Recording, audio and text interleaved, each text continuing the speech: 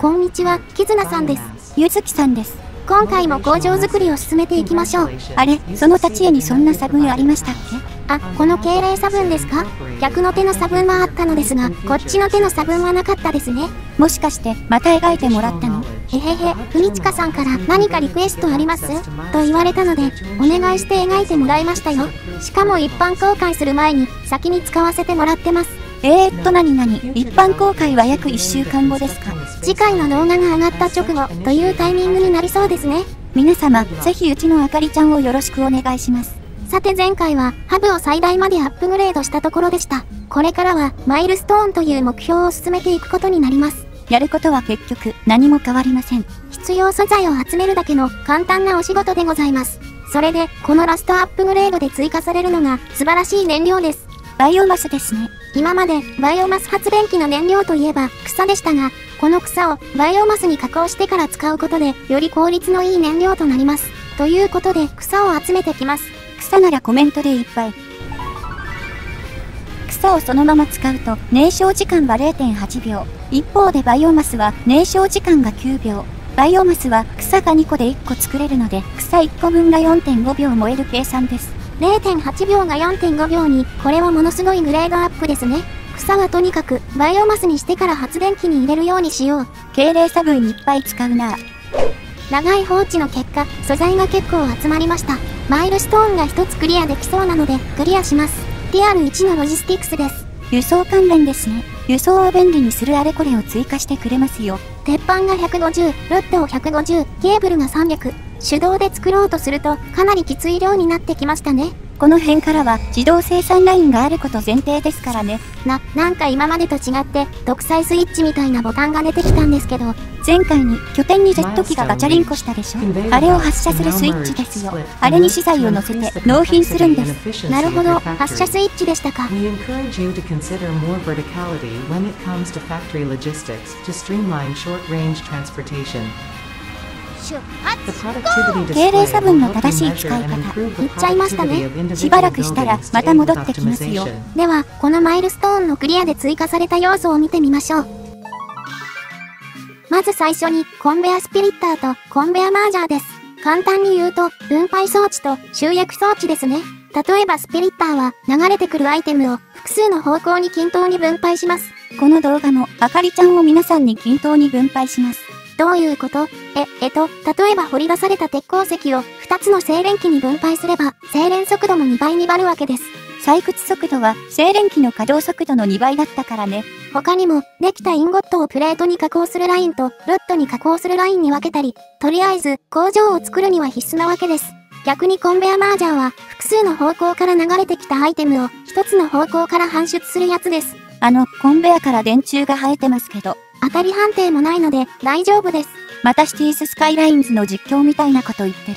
これには赤いウプ主もびっくりである。ちょくちょく様子を見に来る赤いウプ主。では、これを元にして、基本素材たちの生産ラインを構築していきます。ということで、工程を全部カットして、生産ラインが完成しました。ふむ、説明してごらんなさい。どうしてお嬢様口調なのです？えっと、まずはさっき言ったように、採掘された鉱石が二手に分解され、ダブル精錬機でインゴットになります。そして、インゴットのうちの片方は、鉄プレートへ加工されます。もう片方は、鉄ロットへと加工されます。これだけで基本素材のうち2つは確保ですか？鉄プレートはそのまま倉庫へと運び込まれます。鉄ロットは一部はそのまま倉庫へ運ばれますが、一部はネジへと加工されるようにしています。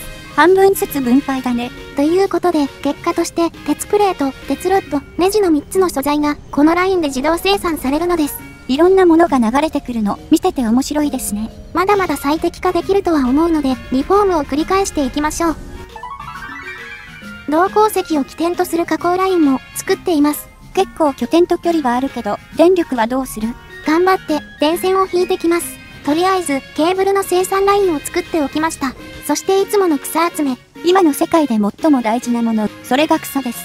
あ、あれ、あれれ、どうしました？ス、スタックしたんですけど、え、そこから動けないの？え、ちょ、これって積んでないですか？えー、っと、こういう時のためにリスポーンコマンドがあるようですが、録画当時は存在を知りませんでした。うわーん、誰か助けて。しかしその声に応える者はいない。そしてあかりは考えることをやめようとしたら助け舟がやってきました。どこかの世界では部長と呼ばれている異性生物さん、今回ばかりは来てくれて嬉しいです。その突進でこの場所から脱出させて、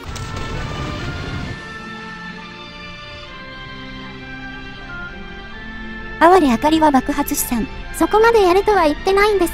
と、このように体力が尽きてしまうと、所有物を全部落としてリスポーンします。マイクラと同じでしたか。とりあえず、落としたアイテムを取りに行かないと。あったあった。箱の中に入ってるんですね。時間経過で消滅して全ロスとか、あるのでしょうか？わかりましえん。はーい。とりあえず、全部回収できてよかったです。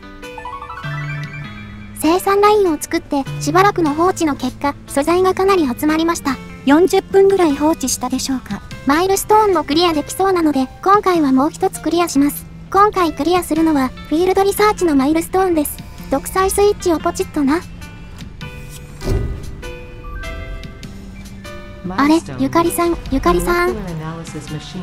え、本当に独裁スイッチみたいに私以外消えちゃったの？あの、いや、そんなつもりは、ゆかりさん、ゆかりさん。ふふふ、独裁スイッチは消えてほしい人の名前を言ってから使うもの。誰の名前も言わずに押しても効果はありませんよ。ちょっと、どこに隠れてたんですか？さあ、どこでしょうね。さあ、ゲーム実況に戻りましょう。むー、えっと、このマイルストーンのクリアで、いろんなものが追加されましたね。フィールドリサーチということで探索関連のものが追加されます。